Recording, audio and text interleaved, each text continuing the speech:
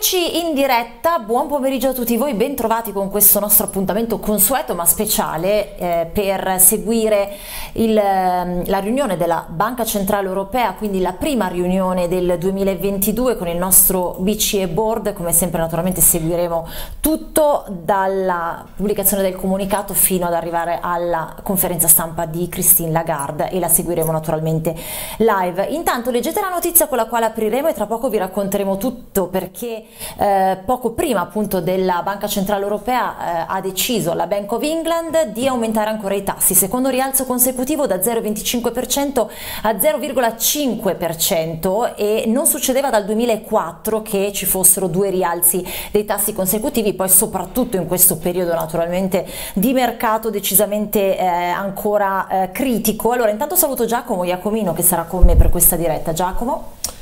Eccoci, bentrovati. Ehm, non solo, quattro funzionari della Bank of England hanno sostenuto la necessità di un rialzo dei tassi più consistente da 50 punti base, date i rischi di un'inflazione più persistente. Quindi siamo saliti a 0,5, ma c'è chi avrebbe voluto un aumento ancora più consistente per un'inflazione, un picco di inflazione nel Regno Unito che è previsto sopra il 7% ad aprile. Esattamente, infatti la decisione non è stata unanime, c'era chi avrebbe voluto intervenire in modo più massiccio. Allora, eh, ovviamente il tema poi portante di, di, di, ciò che seguiremo con la Banca Centrale Europea è proprio questo, cioè cosa deciderà di fare la BCE, anche se eh, il pre-considerazione, eh, pre-riunione eh, lascia pensare ancora che la Banca Centrale Europea si muoverà in modo cauto e quindi non attiverà fin da adesso eh, una politica monetaria differente rispetto a quanto ha fatto fino a oggi, però sarà interessante capire una cosa,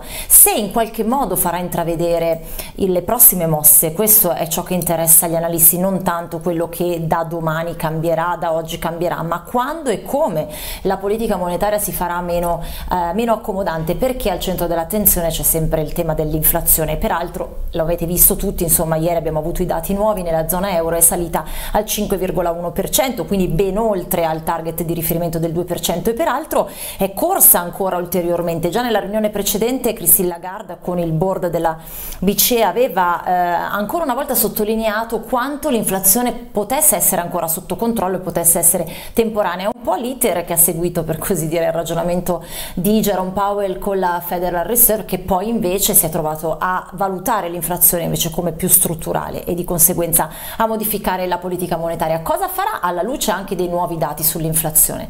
La BCE potrebbe essere cambiato qualcosa? Giacomo, intanto le borse, andiamo a vedere cosa sta accadendo sul mercato perché tutta la mattinata in effetti la debolezza dell'Europa si è intravista e eh, hanno aumentato effettivamente le perdite a fine mattinata le borse europee, quindi sono caute, chiaramente questo è l'atteggiamento sempre un po' interlocutorio no? di stare alla finestra che hanno i mercati di fronte alle attese di una riunione di questo tipo, ma in questo momento che cosa sta accadendo? Allora, intanto aggiungo che oltre ad aver aumentato i tassi di interesse, la Bank of England ha avviato anche il tapering, cosa che ancora doveva, ehm, dare, insomma, doveva, doveva ancora iniziare, riducendo progressivamente lo stock di titoli pubblici e privati accumulati con i programmi anticrisi degli anni scorsi e finanziati mediante l'aumento delle riserve eh, monetarie. Riduzione sia per i titoli pubblici sia per i titoli privati, interrompendo i programmi di reinvestimento sulle emissioni che giungono progressivamente a scadenza. A questo punto, ricollegandoci a quanto eh, hai anticipato tu, è vero che siamo più o meno eh, è lo stesso iter della Fed, ma c'è una differenza. Quando la Fed sosteneva che eh, l'inflazione fosse transitoria, la Banca Centrale Europea diceva ma tanto a noi non ci interessa perché loro sono al 7, Vero. noi siamo sotto al 5 quindi probabilmente neanche dobbiamo alzarli per farlo tornare eh, attorno al 2%. Adesso tutto attorno stanno eh, cambiando la propria politica monetaria, l'Europa rimane ferma, la gara rimane ferma, ma l'inflazione invece sta salendo. La Bank of England ha detto noi li alziamo, di, andiamo a 0,5 perché l'inflazione che, che prevedevamo al 5% ad aprile sarà del 7%. Quindi quello che, che l'Europa potrebbe prevedere ad aprile 2022 attorno al 5,2-5,3 probabilmente ci saranno delle revisioni al rialzo, ma non oggi, perché oggi non, saranno, non, ci, saranno, non ci, sarà alcuna previsione, macro, previsione, macroeconomica. Tornando alla tua domanda, intanto guardate il movimento della sterlina ehm, alla pubblicazione della, del, mm, del, comunicato stampa che si apprezza da 1,35,4 a 1,36,2 quindi non di poco. Adesso sta cercando di consolidare in area 1,36 quindi soglia psicologica sicuramente importante. Questo è un grafico a 5 minuti. Tornando al daily come vedete la fiammata c'è ed è al di sopra della media 200 eh, giorni 200 periodi i mercati, come dicevi tu, sono ancora deboli, tutti attorno al mezzo punto percentuale di perdite al massimo e questo riguarda il DAX, già il MIB perde lo 0,37, um, Londra perde lo 0,2%, mentre le materie prime si stanno deprezzando, il petrolio è scivolato sotto gli 87 dollari al barile, anche l'oro è a 1800, questa mattina eravamo a 1810, il gas naturale, naturale americano è sotto i 5 dollari, eravamo abbondantemente sopra i 5, eravamo a 5,20 questa mattina, mentre il gas europeo sale di due punti percentuali, siamo a 78-85 perché aumentano le forze militari, eh, le forze militari so, al confine dell'Ucraina con Russia e, ehm, e Stati Uniti. Quindi questa è la situazione. A questo punto io anticiperei anche con l'aiuto della regia il primo grafico, così ci facciamo un'idea di quello che quantomeno viene certo. previsto. Ed Poi è... torniamo anche sul discorso macroeconomico, perché è vero che non verranno date delle previsioni, però probabilmente bisognerà confrontarsi anche con eh, gli indici PMI che sono stati tra gli altri dati macroeconomici che determinano un po' la crescita dell'Eurozona che sono stati un po' deludenti, quindi si è vista ancora una crescita in rallentamento, una ripresa in rallentamento, contrariamente a quanto forse avevamo messo in conto un po' di tempo fa, ma ci arriviamo anche magari parlandone con i nostri ospiti. Allora andiamo a vedere il cartello giustamente come, come diceva Giacomo. Ecco, Cartello BCE Colomba, perché questo è quello che, stiamo, che, vi stiamo raccontando, ma l'inflazione sale. Che cosa dice la Française Asset Management? François Rimont, in questo caso senior strategist, sarà un incontro intermedio, non saranno diffuse previsioni economiche, sono improbabili annunci di rilievo o eventuali nuove operazioni di rifinanziamento a lungo termine. Eh, tutto questo ci sembra prematuro prima di giugno, questa quindi è una prima previsione. Se dovesse cambiare qualcosa verrà a giugno. La Gard riconoscerà che l'inflazione l'inflazione è in un trend al rialzo, da qui la necessità già da marzo di rivedere in questa direzione le previsioni quantomeno sull'inflazione per quest'anno che il Regno Unito, che la Bank of England ha già fatto oggi e ha giustificato in questo modo il, l'aumento, eh, l'aumento dei tassi. Aggiungo, a proposito dei dati macro che diceva Manuela, che c'è questo indice a cui evidentemente Christine Lagarde dovrà dare una spiegazione, l'indice dei prezzi alla produzione per l'ultimo mese, quindi dicembre, eh, in, in, nell'Unione Europea europea 26,2 rispetto a dicembre 2021, è il massimo storico, sono 3 punti o quasi eh, in più rispetto a novembre e siamo sempre alle solite, a fronte di un aumento dei costi di produzione così elevato del 26,2, come fanno le imprese poi a rifarsi sul prezzo finale che è l'indice dei prezzi al consumo se quell'indice dei prezzi al consumo è solo del 5%?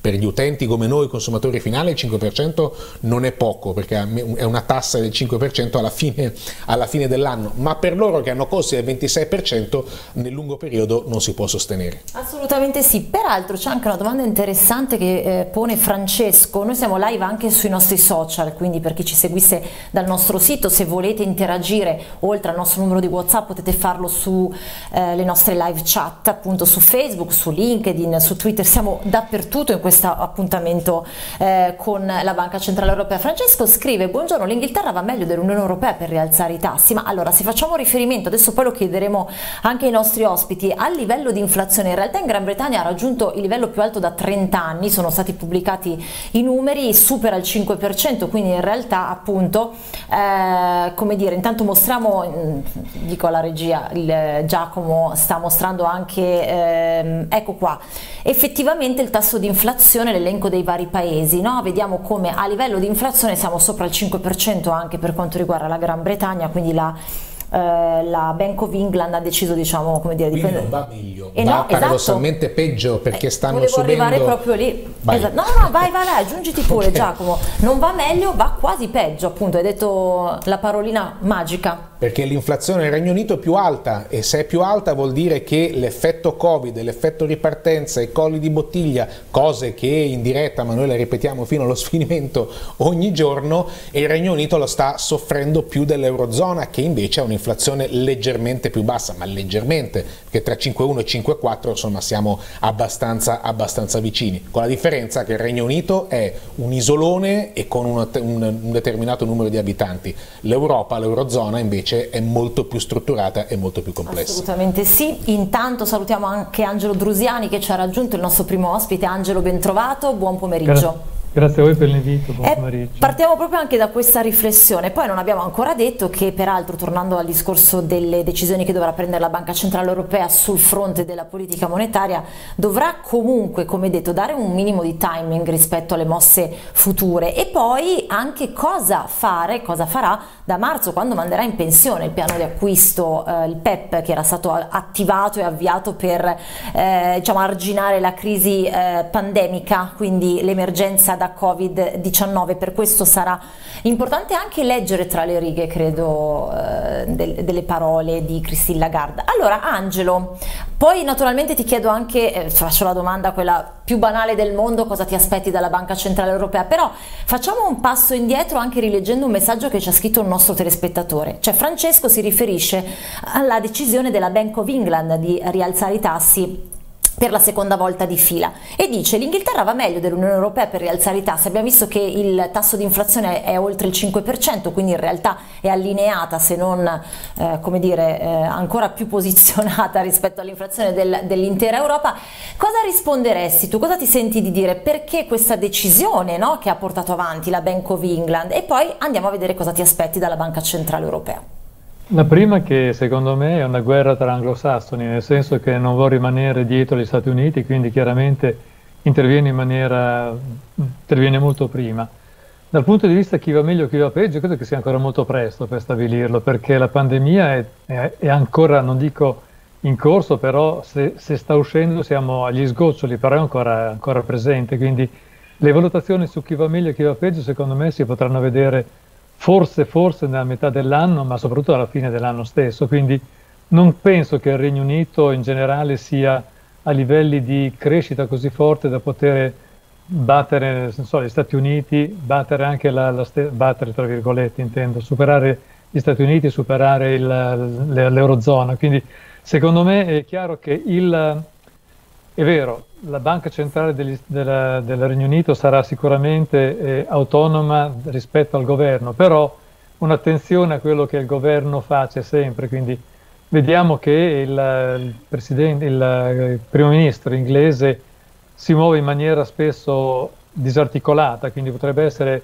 convinto che la, la, il Regno Unito stia andando benissimo e di conseguenza voglia anticipare quelli che potrebbero essere degli effetti sull'inflazione, ma se il, eh, un paese va veramente bene, nel senso che cresce, se cresce tantissimo il paese, anche se i tassi si alzano di un punto, un punto e mezzo, due è difficile frenare l'inflazione subito, ci vorrà qualche tempo, quindi secondo me valutare se vada meglio del, del, del, dell'Eurozona, vada peggio, se vada meglio degli stessi Stati Uniti, io in questo, in questo frangente non mi sentirei di rispondere né sì né no perché mi sembra, come dicevo prima, un po' troppo presto per valutarlo. Okay, okay. Ecco, mi riaggancio a una frase che hai usato tu Angelo, cioè ci vorrà qualche tempo naturalmente per vedere gli effetti sull'inflazione nel momento in cui si, eh, dire, si, si, portano dei cambiamenti alla politica monetaria. Tornando alle attese, anzi partendo ancora con te dalle attese per la riunione della Banca Centrale Europea, perché mi voglio riagganciare a questa tua frase? Perché mi chiedo se a questo punto ciò che si pensa, cioè che la, che la BCE, Christine Lagarde, non eh, cambierà nulla nella riunione di oggi, forse non dovrebbe invece farlo, proprio perché ci vorrà del tempo. Abbiamo visto un'inflazione europea che è salita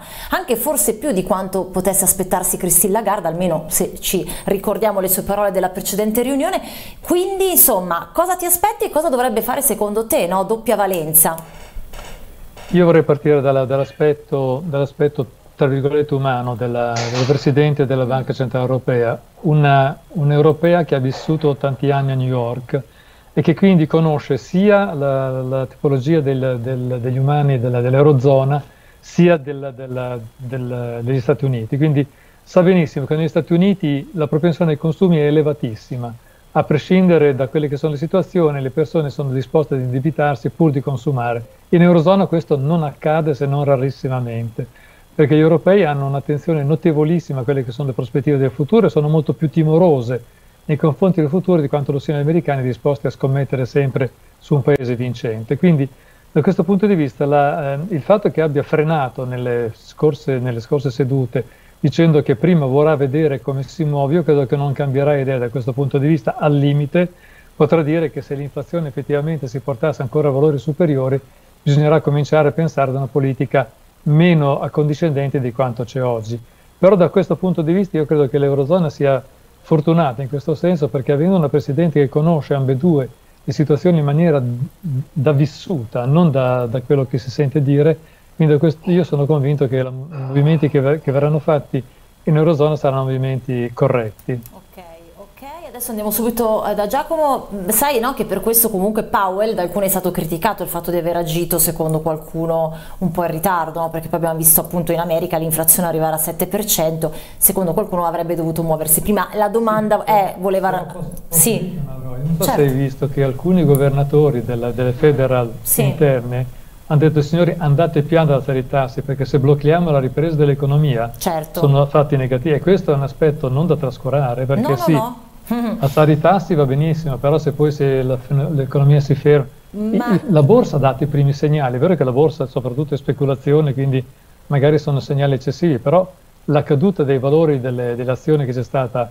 a New York non è stata proprio da quattro soldi. Allora, abbiamo il comunicato stampa e poi torniamo sul discorso del, della macroeconomia con una domanda per te prima di salutarti. Allora, Giacomo, comunicato, perdonami, è uscito. Primo trimestre 2022 il Consiglio condurrà gli acquisti netti del PEP a un ritmo inferiore al, al, um, rispetto al trimestre precedente, interromperà gli acquisti netti di attività del PEP alla fine di marzo 2022, reinvestirà il capitale rimborsato sui titoli in scadenza nel quadro del PEP almeno fino alla fine del 2024. In ogni caso la futura riduzione del portafoglio del PEP sarà gestita in modo da evitare interferenze con l'adeguato orientamento scusa, di politica monetaria. La pandemia ha dimostrato che in condizioni di tensione la flessibilità nella configurazione, nella condizione degli acquisti di attività ha contribuito a contrastare le disfunzioni della trasmissione della politica monetaria e a rendere più efficaci gli sforzi tesi a raggiungere l'obiettivo del Consiglio eh, direttivo. In condizioni di tensione la flessibilità rimarrà un elemento di politica monetaria dove i rischi della trasmissione mettono a repentaglio il conseguimento della stabilità dei prezzi, quindi flessibilità eh, sicuramente in caso di ulteriore frammentazione i reinvestimenti del PEP potranno essere adeguati in maniera flessibile Ciò potrebbe implicare, eh, fra l'altro, l'acquisto di obbligazioni emesse dalla Repubblica Ellenica in aggiunta ai reinvestimenti, al fine di scongiurare che un'interazione di acquisti del Paese possa compromettere la trasmissione della politica monetaria all'economia greca. Questo insomma è un, um, un approfondimento proprio sulla questione dell'economia greca all'interno del, del, del, del, comunicato stampa e poi programma di acquisto di attività e quindi eh, ehm, eh, il cosiddetto app. Ehm, gli acquisti mensili saranno pari a 40 miliardi di euro nel secondo trimestre 2022 e a 30 miliardi nel terzo trimestre. A partire da ottobre il Consiglio direttivo manterrà gli acquisti netti nell'ambito dell'app a un ritmo mensile di 20 miliardi di euro. Queste sono le, cons le considerazioni sul tasso di riferimento di, di interesse ehm, rimarranno invariati, 0%, 0,25 e meno 0,5%. Mi interessava capire se si parlava in qualche modo anche dell'inflazione, in realtà no, si parla sempre dell'obiettivo del 2%, ehm, direi di no, operazioni di rifinanziamento. Ok, no, questa, questa è la situazione, non nessun riferimento alla oscillazione del dato dell'inflazione, cambiamenti sì nell'ambito del PEP, alcune conferme, e dell'app. Esatto, Angelo un commento eh, prima di salutarti visto che abbiamo il comunicato. Eh, vorrei solo fare prima un brevissimo riferimento alla situazione riguardo alla Grecia, confrontandola con quello che fu fatto alcuni anni fa sempre nei confronti della Grecia con la partenza di un grande paese che ha spinto soprattutto perché ciò accadesse, per far capire la differenza che c'è tra persone e persone. Al di là di quello, io credo che dal punto di vista della, della, del comunicato, eh, ribadisce più o meno quello che è stato, che è stato detto in, in, in, precedenti riunioni, perché c'è questo approccio eh, molto, molto meno te tecnocratico di quanto lo possa essere negli Stati Uniti e nei paesi anglosassoni in generale, perché siamo, siamo etnie diverse, lo si voglia o no, è così. E quindi la, avere si ha a, a, cuore, secondo me, con queste dichiarazioni, con questo approccio, il, l'attenzione che possano avere le persone, nei, il timore che possano avere le, le, persone nei confronti di un'inflazione che dovesse crescere in maniera importante, che eh, potesse spaventare, perché è vero, adesso i dati sono questi, ma tra due mesi, signori, ricordiamoci una cosa, con queste bollette da pagare, ma quanto rimane per i consumi? Siamo sicuri davvero che tutto quello che viene prodotto e portato sui mercati a prezzi esosi verrà consumato? Io francamente sono abbastanza scettico e quindi non mi sorprenderebbe che l'inflazione nel corso dei prossimi mesi potesse scendere da questi livelli. Sì, sì, beh, ma mm, io sono una sostenitrice del fatto che sia assolutamente troppo presto andare a vedere le previsioni, proprio per questo motivo che hai detto tu, cioè abbiamo ancora un problema enorme legato ai prezzi, alle bollette, al fatto che le persone non riescano a sostenere le spese, potere d'acquisto che si va ad affossare, annientare, quindi mm, questo bisogna vedere fino a che punto no? eh, sarà così e quindi di conseguenza potremo trarre tutte le, le conclusioni. Per questo anche il discorso macroeconomico che accennavi tu prima sarà fondamentale e sono curiosa anche di capire eh, quanto, su, mm, quanto, si concentrerà su questo Christine Lagarde, lo sentiremo poi nella conferenza stampa. Intanto grazie Angelo Drusiani grazie per essere stato con noi, naturalmente a presto sulle fonti tv. E tra poco andiamo a vedere anche poi eh, più nel dettaglio il, dire, i movimenti di mercato, però vediamo già come magari una prima reazione dei mercati al comunicato eh, della Banca Centrale Europea, così eh, cosa, come stanno reagendo? Euro debole, meno 0,22%, questo è sempre il grafico a 5 minuti, come vedete c'è un uh, movimento verso il basso, stava gravitando in area 1,12,95, è scivolato a 1,12,75, quindi 0,20 di uh, pips, insomma um, uh, nel grafico a 5 minuti comunque la candela è piuttosto ampia e ribassista, adesso nella seconda diciamo candela, quella attuale, vediamo che sta già cercando di recuperare quanto, quanto smarrito. Interessante anche notare sterlina-dollaro che dopo eh, l'impennata fino a 1,36,28 il tentativo di, di galleggiare su 1,36 in realtà sta, ha già dimezzato diciamo, eh, l'apprezzamento della sterlina alla pubblicazione del eh, comunicato della Bank of England, infatti siamo già a metà e siamo di, tornati di nuovo sotto 1,36, 1,35,82, anche i guadagni della sterlina si stanno oramai riducendo a zero, tant'è che il cambio è molto vicino alla parità, più 0,07%. Euro-dollaro invece l'euro è in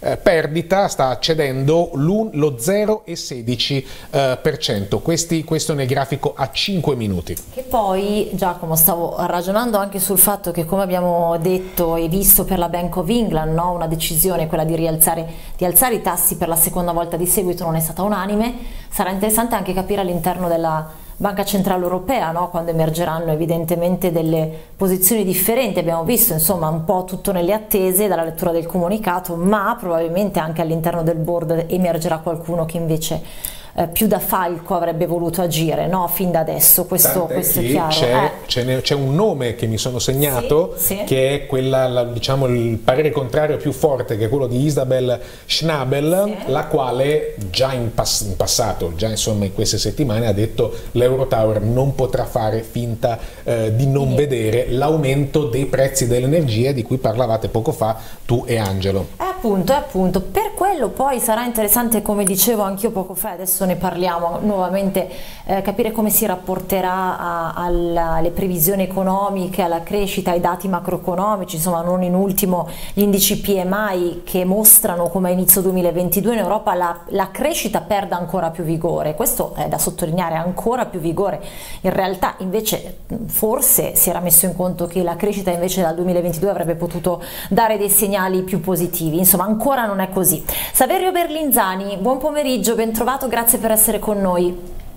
Buongiorno a tutti, ciao Manuela e buongiorno a Giacomo. Ciao Saverio. Ciao Saverio. Allora, allora, allora, tante cose da dire anche con te, naturalmente poi ci concentriamo su euro-dollaro, sui cambi principali, però ti chiedo un tuo parere, una, insomma a caldo dopo la, la, pubblicazione del comunicato e soprattutto se tu ti posizioni, per, lasciami dire questa cosa, più dalla parte dei falchi o più dalla parte della colomba, cioè se secondo te la BCE in questo momento dovrebbe fare uno o l'altro, dovrebbe prendere uno o l'altra posizione, ecco. Allora, avete detto molto bene voi poc'anzi quando insomma, avete ribadito il concetto che non si può far finta di non vedere l'inflazione a questi livelli. Ricordo che l'inflazione in Gran Bretagna è intorno al 5,4%, in Europa è al 5,1%, quindi non è molto distante da quella inglese. Gli inglesi, si sa, sono ben determinati da tempo a pensare ad un rialzo dei tassi, lo hanno fatto, eh, si pensa che salire, i tassi possano salire ancora almeno due o tre volte, quindi portarli da, tra l'1% e l'1,25%.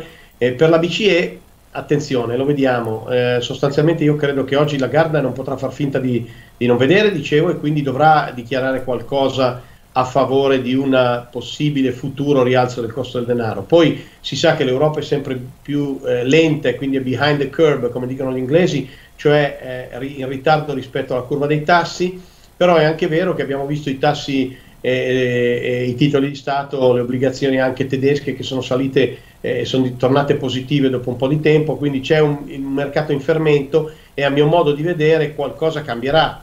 La sostanza è che eh, sul mercato si è visto per ora un rafforzamento della sterlina, però in questo momento eh, io credo che il mercato stia scontando anche delle dichiarazioni hawkish da parte di, di Lagarde. Io penso che sia importante eh, un rialzo dei tassi adesso per dare un segnale, ma t- successivi rialzi dei tassi secondo me sarebbero estremamente pericolosi perché i dati stanno già mostrando un rallentamento e il fatto che le banche centrali siano rimaste troppo behind the curve in passato, cioè hanno detto troppo in ritardo che l'inflazione era strutturale, potrebbe andare a causare un ritardo anche nel rialzo dei, un, un anticipo nel rialzo dei tassi rispetto ad un mercato che sta già eh, come dire, evolvendosi verso, non dico una recessione, ma un rallentamento più marcato. Eh, infatti il discorso del ritardo con il quale secondo qualcuno le banche europee si sono mosse è un po' la, il punto che abbiamo analizzato poco fa ed è l'errore che deve cercare di evitare la Banca Centrale Europea, no? collegandoci al fatto che non può far finta di non vedere. Intanto arrivano delle considerazioni, intanto proprio a livello proprio di mercato, le borse sono attendiste moderatamente negative, se non aumentano i tassi saliremo sui massimi di ieri, altrimenti ci sta un ritorno a 27.000 punti di FIB e poi a proposito dell'azione delle banche centrali europee appunto il fatto che abbiano continuato a stampare, stampare, stampare per comprare debito che nessuno voleva. Qualcosa ora si dovrà pur pagare. Infatti giusto ancora un, un, un cenno su questo Saverio anche su quello che dicevi tu poi andiamo ad analizzare un po' più nel dettaglio le principali valute a partire dall'euro-dollaro. Eh, la politica monetaria sarà ancora espansiva anche se in misura minore questo l'abbiamo capito però sicuramente non deve essere una scusa per fare debito cattivo è un po' il problema che veniva segnalato anche da quello che è successo in questi anni, no? Assolutamente sì, il problema del debito è un problema strutturale, lo sappiamo. Poi per qualcuno non lo è, ricordo che gli Stati Uniti ieri hanno superato, la, tra ieri e l'altro hanno superato i 30 mila miliardi di dollari di debito rispetto a un PIL di 24 mila miliardi, siamo al 100, eh, tre, oltre il 130% del PIL. In Europa la stessa cosa, c'è fatto debito, la Spagna è arrivata al 120%, eh, l'Italia sappiamo che è al 160%, siamo ben oltre i livelli eh, eh, oltre i quali vi ricorderete la Grecia era stata commissariata ed era, in Grecia era arrivata la Troica. Quindi se dovessero essere ripristinati i parametri di Maastricht, io non so come eh, potranno giudicare, anche se il debito italiano è un debito che in, in, certi momenti diventa sostenibile nel medio periodo perché comunque sono in atto delle riforme strutturali importanti, però sappiamo benissimo e, e siamo tutti a conoscenza del fatto che siamo ben oltre i livelli a cui la Grecia venne commissariata quindi eh, qualcosa potrebbe accadere, bisogna cercare di capire quale sarà la tendenza globale, perché qualcuno parla di monetizzazione del debito in una, in una, situazione di azzardo morale che va avanti dal 2009. Potrà andare avanti ancora? Non lo sappiamo. Certo è che se ne parla meno di prima. Io ricordo nel 2012-2013 si parlava di questo azzardo morale come un qualcosa di, che non si poteva assolutamente più derogare, oggi non se ne parla più con dei debiti ben superiori dovuti evidentemente alla necessità di stampare durante il periodo della pandemia. Ok, Giacomo? Allora Saverio, tre brevi considerazioni eh, che poi puoi rielaborare come, come, meglio credi ovviamente. La prima riguarda un passaggio della, del comunicato stampa e cioè primo trimestre 2022 il Consiglio effett sta effettuando acquisti netti di attività nell'ambito del PEP a un ritmo inferiore rispetto al trimestre precedente e conferma la sospensione a fine marzo 2022.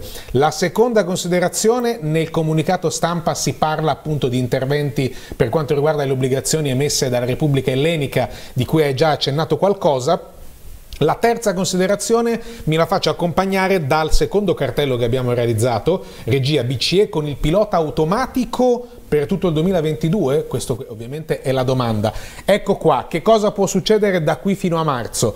Eh, dicembre, che cosa è successo? Fine degli acquisti netti del PEP a marzo, confermato oggi, acquisti mensili a tempo indeterminato da 20 miliardi per quanto riguarda l'app da ottobre. Oggi l'idea è che ci sarà al massimo una presa di coscienza che l'inflazione non è più transitoria, marzo, nuove proiezioni macroeconomiche che oggi non arriveranno, revisioni al rialzo inflazione per il 2023-2024 2024 e un percorso di crescita eh, accelerata. Eh, Saverio, scegli tu da dove partire, ho messo un po' di argomenti e un po' di temi sul tavolo. Oddio, la situazione è abbastanza complessa perché eh, non vorrei che il ritardo della BCE rispetto al rialzo dei tassi alla fine sia, sia giusto per il semplice fatto che le economie sono già in rallentamento. Oggi è uscito il PMI eh, italiano a 48,1 e, e, insieme alla Spagna eh, che sono usciti al di sotto di 50 e i dati tede- francese sono in linea e quello tedesco è rimasto anche lui leggermente in linea o leggermente superiore, ma comunque in una fase già di ripiegamento della, della congiuntura. Negli Stati Uniti è uscito un ADP ieri a meno 301.000, eh, sono usciti dati eh, già sulle vendite al dettaglio nelle ultime settimane eh, peggiori delle attese. Se la congiuntura si gira, questo rialzo dei tassi è assolutamente deleterio quindi eh, a rimanere fermi forse sarebbe la situazione ideale da un certo punto di vista se questo rallentamento venisse confermato. Certo è che si rischia la stagflazione. Eh, non è vero che nessuno parla di stagflazione. L'altro giorno Daly della, della Federal Reserve ha detto non pensiamo ad andare in stagflazione. Il solo fatto che se ne parli secondo me è estremamente pericoloso perché evidentemente siamo in una condizione in cui potremmo mh, rialzare i tassi per dover far fronte ad un'inflazione da costi e dall'altra parte però ci ritroviamo a danneggiare la ripresa economica che sta uscendo appena appena in questi momenti dalla pandemia e forse non sappiamo se ne uscirà eh, definitivamente. E quindi la questione secondo me è aperta, siamo in una situazione di incertezza, la, la BCE chiaramente sta facendo tapering, il, il fatto che eh, vada a zero col, col PEP a, a, fine marzo e adesso abbia ridotto gli acquisti evidentemente significa drenare liquidità, non è come rialzare i tassi, però insomma lo vedremo. Il rischio però a questo punto che ci sia una congiuntura in rallentamento per effetto del rialzo dei tassi in questo momento potrebbe essere eh, un rischio realistico.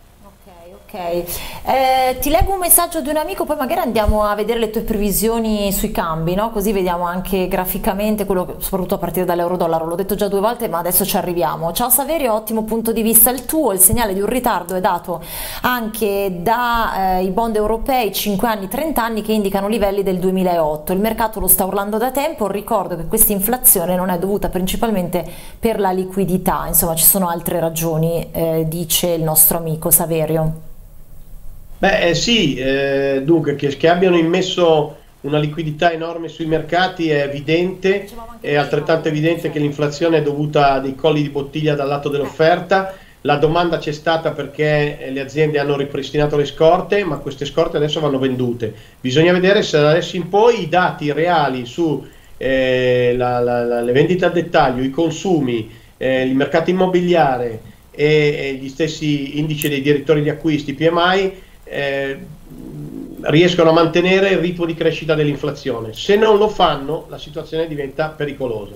Se, e, e a quel punto le banche centrali dimostrano di essere in ritardo e non hanno più molti strumenti perché tornare indietro a, a eventualmente adottare un QE, cioè ad allargare la base monetaria nel caso in cui si dovesse entrare malauguratamente in una recessione, è chiaro che ci vogliono tre trimestri, però eh, perché, perché, sia tale, eh, però sarebbe estremamente grave da un punto di vista del, da un punto di vista delle soluzioni possibili da adottare successivamente e la perdita di credibilità dell'intero sistema secondo me potrebbe essere significativa. Ora io non voglio fare catastrofismi, tantomeno, tantomeno alla, segnalare allarmismi che in questo momento non ci sono, basti vedere i mercati azionari che continuano a tenere perfettamente eh, i livelli hanno stornato ma stanno ritornando a salire. Vedremo se, ci sarà, se sarà un fuoco di paglia oppure se questo risk-off, la versione a rischio, eh, prenderà piede in questo 2021, nel 2022 come qualcuno azzarda. Ok, ok, allora andiamo sull'euro-dollaro, Saverio, per avere una tua view. Beh, super dollaro eh, che ha fatto seguito alle parole di Jerome Powell, ieri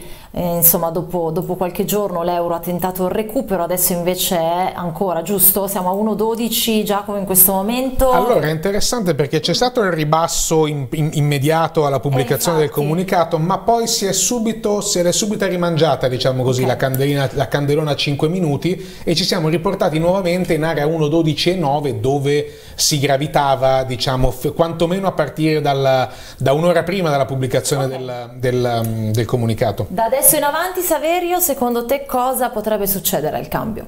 Allora, intanto quattro giorni or sono, quando aveva bucato l'area di 1.11.80, io avrei pensato e avrei detto che il super dollaro avrebbe portato i prezzi tranquillamente in area 1.9, 1.10 il fatto che si sia girato così improvvisamente, anche il dollar index abbia fatto un'inversione e sia mh, salito al di sopra nuovamente di 1,1240, 1,1260, mi fa pensare che la fase di accumulazione che in questo momento stiamo vedendo a minimi eh, crescenti di breve e massimi crescenti eh, possa avere un seguito. Però bisogna rompere il livello di 1,1350, 1,1360, che sono poi tutta una serie di aree di congestione che aveva fatto a partire dal 30 novembre fino al, alla fine di dicembre. Se andiamo sopra 1,1360 andiamo a recuperare anche 1,14 quarti che è il punto chiave per cambiare il trend di medio termine.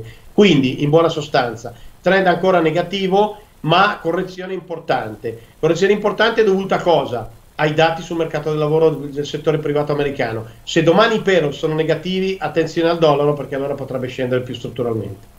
Invece appunto rispetto ai dati macroeconomici, cosa ti aspetti eh, oggi nella riunione? Nel senso che appunto li hai citati anche tu prima, gli indici PMI che danno l'idea di una crescita che perde ancora più vigore, peraltro ehm, la Spagna è stata la nazione che ne ha risentito maggiormente, la Germania si posiziona ancora in una situazione diciamo di comfort zone, tra virgolette, perché poi ovviamente si naviga vista, l'Italia è scesa sotto i 50, insomma non può non far conto, tener conto di questo, no? torniamo sempre al, al tema portante che non si può far finta che la situazione sia sotto controllo sotto tanti aspetti.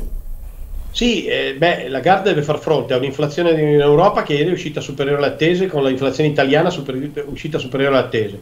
Quindi in qualche modo l'inflazione sta salendo ed è pericolosa. Il petrolio con l'OPEC che ha deciso il eh, nulla di fatto praticamente, con un aumento di 400 mila eh, barili al giorno, che sono niente rispetto a quello che servirebbe, con un, eh, un oro che rimane, eh, un, oro, un petrolio che rimane sopra eh, gli 86 dollari al barile eh, e quindi un'inflazione da costi, un'inflazione da strozzatura dell'offerta e dall'altra parte un rallentamento economico. Questo è estremamente preoccupante per le banche centrali perché da un lato devono cercare di comunque refrenare l'inflazione, dall'altro non devono danneggiare la congiuntura e il recovery che comunque c'è e, e, sta, e comunque in questo modo drenando liquidità questo recovery lo stanno per forza leggermente danneggiando perché era nei piani di, e quindi questo dimostra quanto sono stati indietro rispetto alla curva dei tassi e questo dimostra che adesso si trovano un po' con le armi spuntate in una situazione che è pericolosa perché si trovano in un angolo, devono alzare i tassi ma non possono alzarli troppo perché altrimenti inficiano la crescita. L'Europa addirittura ha deciso di non alzarli, forse, ripeto, eh, eh, forse in questo momento diventa la decisione migliore perché a, alla fine eh, si evita di arrivare troppo in ritardo creando più danni di quelli che sarebbero i benefici. Ok, Giacomo? Saverio, cosa sì. pensi del passaggio in cui viene spiegato che sostanzialmente la BCE cambia la guida, eliminando il riferimento al cambiamento della politica in entrambe le direzioni? Si aspetta che gli acquisti netti finiscano poco prima che inizi ad aumentare eh, i tassi e qui forse si avvicina un po' no? alla, alla, alle ultime comunicazioni diciamo, da parte di Jay Powell. So, secondo me significa neutralità, cioè significa siamo flessibili nel guardare la situazione macroeconomica sotto entrambi i punti di vista. Se cominci- continueremo a crescere e la crescita sarà comunque robusta in linea generale, con un'inflazione che sale dobbiamo, dobbiamo eh, cercare comunque di eh, mantenere quello status quo. Se invece vediamo che la crescita non, non, non è sufficiente a eh, recuperare quella che è l'inflazione, beh, eh, lì dobbiamo intervenire in altro senso. Quindi si lasciano aperte, secondo me, tutte le possibilità a ribasso e rialzo e questo significa che hanno, è una missione di responsabilità, secondo me, rispetto al discorso siamo in ritardo sulla curva dei tassi adesso do, non sappiamo cosa fare, dobbiamo guardare i dati nel, nel, loro dettaglio, cercando di stare il più fermi possibile, perché muovendosi si rischia di fare dei danni. Ok. Possiamo salutare Saverio? Ti viene in mente ancora qualcosa? L'ultima curiosità, Saverio, perché poi insomma più o meno avevamo anche parlato eh, di recente, quindi in, in, più si sono comunque aggiunti ulteriori dati. C'è l'inflazione dei, dei, prezzi alla produzione, Saverio, in, in, Eurozona, che oggi sono aumentati ancora, no? siamo a oltre il 24% dal 23,6 precedente eh, e siamo ai massimi storici, o meglio, sono stati aggiornati i massimi storici. Eh, qui Christine Lagarda, torniamo all'argomento di prima, quando quantomeno all'inizio della nostra conversazione, non può, far, non può più far finta di non vedere? Ma per quello, scusate, mi inserisco solo per dire, per questo che dire eh, Christine Lagarde oggi non dirà nulla di che, è un po' riduttivo, no Saverio? Perché in realtà è vero, magari non attiverà fin da subito la Banca Centrale Europea dei cambiamenti, però tutte queste considerazioni andranno fatte e daranno l'idea di quello che succederà nei prossimi mesi. Quindi, insomma, dire, vabbè, mh, tutto tranquillo, tutto normale, insomma, un po', un po limitante.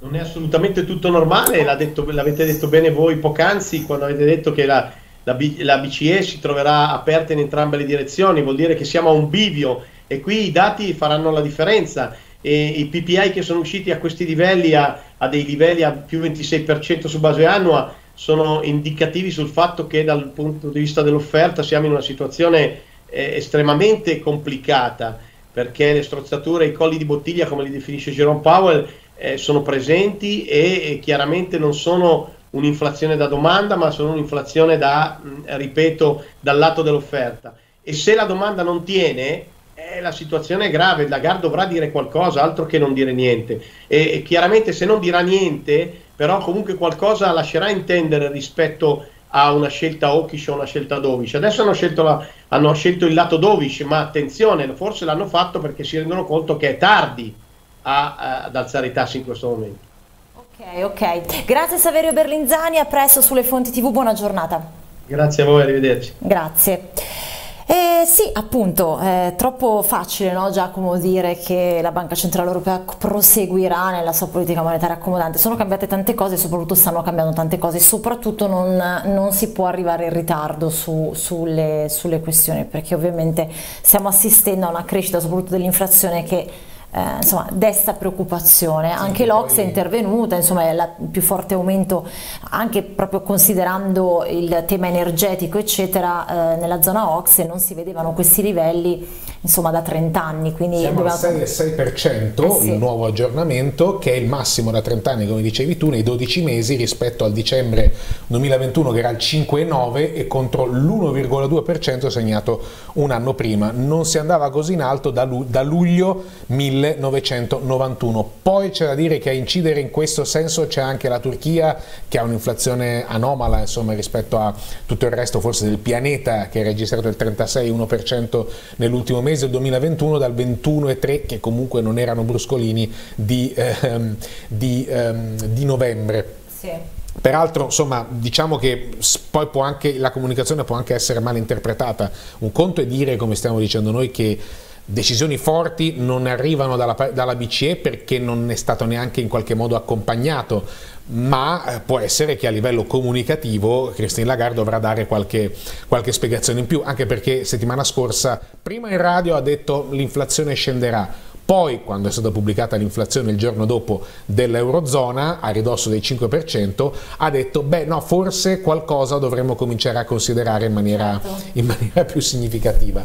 Quindi c'è una domanda, no, c'è una domanda interessante, mi spiace che Saverio è andato, nel senso che non so se poi possiamo chiederlo al nostro prossimo ospite, però sicuramente sarà interessante magari fare un approfondimento, che peraltro abbiamo fatto in questi giorni, ma non alla luce della decisione della Bank of England, perché Federico Scrive, buonasera Manuela, potrebbe chiedere al suo ospite la view sul BTP, perché il BTP Future ha preso una bella sberla dopo la Bank of England, quindi capire anche no, come cambia l'andamento del BTP dopo. Dicevo, abbiamo fatto un approfondimento in questi giorni, diciamo del BTP dopo l'elezione di Mattarella, quindi altra questione, però vedere proprio l'andamento del BTP e magari lo faremo, adesso appunto ripeto, tra poco avremo un altro ospite, ma non so se possiamo magari aff- sì, possiamo... Non con, non con, Alessandro che è il nostro prossimo ospite, però insomma da qui alle 5 e mezza ne abbiamo di... Esatto, esatto, infatti stavo dicendo, intanto Alessandro Manunta è collegato con noi, lo salutiamo, poi grazie, ciao Alessandro, buongiorno.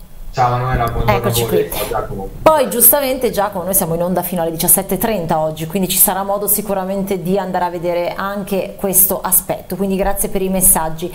Allora Alessandro, una tua view, eh, abbiamo 5 minuti ma riusciamo a fare tutto, una tua view eh, sul mercato dopo la pubblicazione del comunicato stampa, cosa ti aspetti da dalla conferenza di Christine Lagarde e Giacomo intanto possiamo andare anche sui grafici dei cambi. Allora Alessandro. Esatto, soprattutto mm. Alessandro, volatilità da 1 a 10 su euro-dollaro dopo la pubblicazione, eh, euro-dollaro e sterlina-dollaro dopo eh, i due comunicati? Mi aspettavo meglio, onestamente, quindi voto 5 per il momento già, mi aspettavo, mi aspettavo meglio, invece il prezzo fondamentalmente rimane a, a dove era prima del, dei comunicati, sta battendo in questo momento euro-dollaro su una 1,12,8, lì continua a rimanere eh, io in, real- in, realtà mi aspetto ancora che un, eh, uno storno ci debba essere per quanto, per quanto riguarda euro-dollaro, potremmo rivederlo intanto come primo target su 1,12,5 e quindi 1,12,5 poi 1,12, 2,60 come, come secondo target. Quindi secondo me scenderà ancora, ancora, un po', anche perché a livello ciclico ha tempo fino, fino a domani mattina per, per andare giù. Quindi in discesa euro-dollaro.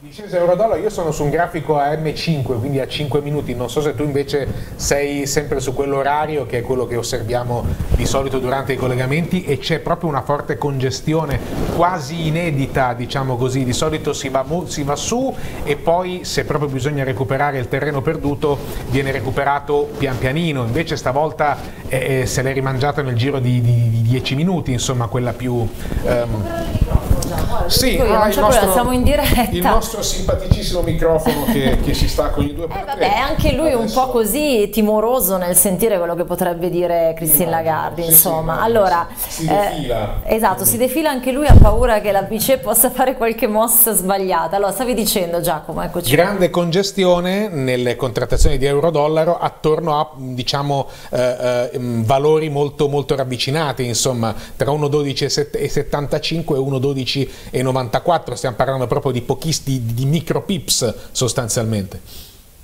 Dicevi benissimo già, non solo, perché io per primo mi aspettavo almeno una salita fino a 1,13,3 per quanto riguarda l'euro-dollaro, ah. per poi andare giù.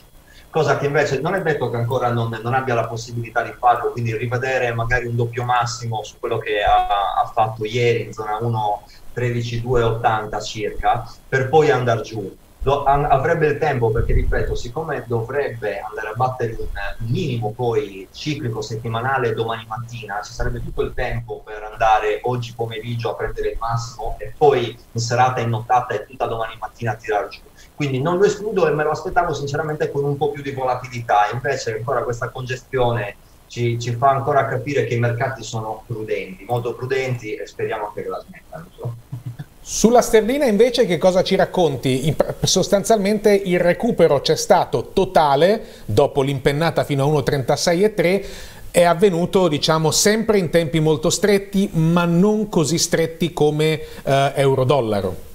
Esattamente perché da, dal 27 di, eh, di, gennaio, quindi la settimana scorsa, la sterlina ha eh, una volta battuta zona 1,33,6 1,33,5, 33,6 è ripartita con una volatilità rialzista molto molto importante. Il problema adesso che ha è che eh, un'ora fa, sulla candela di un'ora fa, quindi su, sempre sul time frame H1, è andata a battere questo massimo volumetrico, o questa resistenza volumetrica in zona 1.36.250 e questa per lei è una resistenza molto molto importante. Quindi vediamo adesso se, eh, se ne ha perché per quanto mi riguarda la sterlina, almeno fino in, in serata è rialzista e quindi pos- potremo secondo me rivederla su quella zona. È chiaro che poi anche lei eh, domani dovrà, dovrà andare, andare tra domani dopodomani a battere, a battere dei minimi, quindi secondo me potremmo poi rivederla fondamentalmente in zona 1.35-250, 1.35-3 Se, non so, se hai l'ultima domanda, se no salutiamo poi Alessandro, facciamo un check prima di eh, dedicarci alla conferenza stampa di Christine Lagarde. L'ultima è se ti aspetti più volatilità durante la,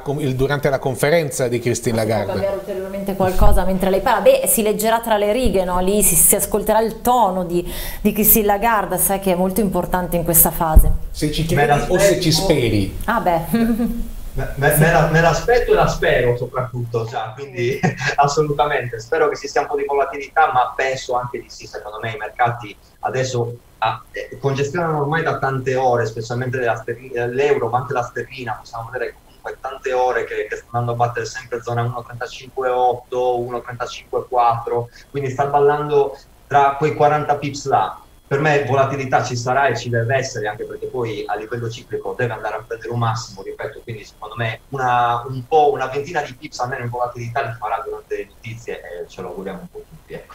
D'accordo, allora intanto grazie Alessandro Manunta che troviamo comunque nella nostra programmazione sulle fonti tv durante le nostre dirette, grazie per essere stato con noi e buona, buona conferenza stampa.